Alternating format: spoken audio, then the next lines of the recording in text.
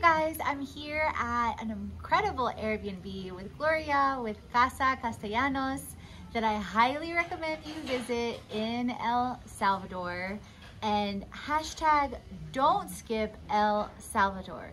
Y por mis nuestros amigos que no hablan inglés, yo estoy en Airbnb con Gloria se llama Casa Castellanos si estás mirando en El Salvador, en San Salvador.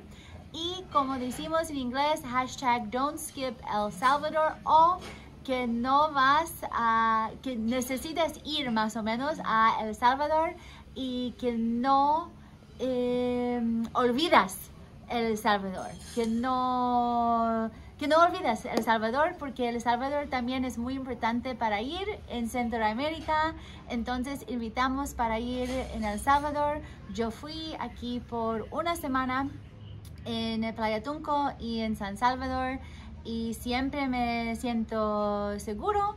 Nunca no tengo ningún miedo y también muy buenas experiencias con Gloria, con Easy Tours que ella le recomendó y me encanta aprender más de historia realmente, de cultura, de viajes. Conocí a Stephanie, conocí Edwin y Naomi y también YouTube salvadoreño.